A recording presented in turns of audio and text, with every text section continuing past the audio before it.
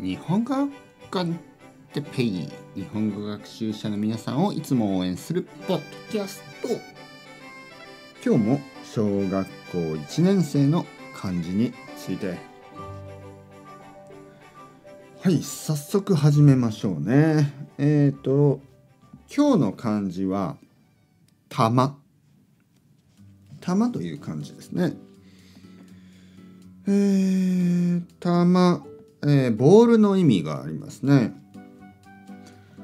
えー、あとはちょっとお金みたいな意味がありますね。例えばお年玉お年玉というのはお正月に子供がもらうお金のことですね。何かこう中国や日本では玉というのは何かこういいものみたいなそういうことがありますね。なんかこうとても大事なもの、えー、神社とかお寺とかに行ってもそういう何かこうクリスタルのなんかこう玉みたいなものがねある場所もありますよね。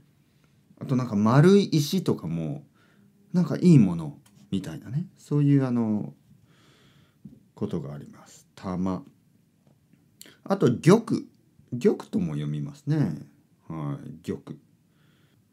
まあ玉はあんまり普段使うような単語はあまりないかな。はい。まあ何かが壊れる時とかにこの玉砕とかね。でもちょっとこれは怖いなんとなく怖いイメージがありますね。壊れるすごく悪い、えー、意味ですね。まああの玉。ね玉です。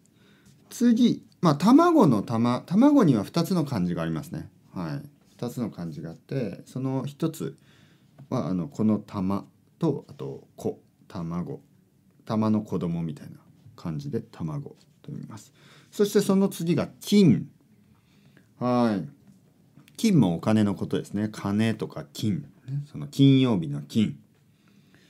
でまああの小学生がこの玉という漢字と金という漢字を見て必ず笑い始めます。特に僕の子供みたいなタイプの元気な男の子たちは、えー、笑ってしまいます。まあその理由がですねまあ分かる人は分かると思うんですけどあの金玉というね言葉があります。まあこれはあの本当にあのまあちょっと使わない方がいい言葉ですけどまあ男にはついてますからね。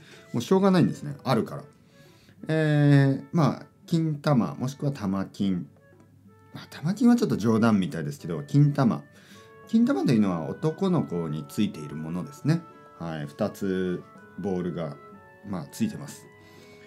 で小学生は本当こういう時に笑うんですよね。僕の子供なんてもう一度言い出したら笑い出したら止まらないですね。こういうのはね。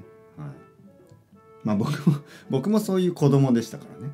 子供の時はいつもあのなんか汚い言葉ちょっと恥ずかしい言葉を使って笑い始める。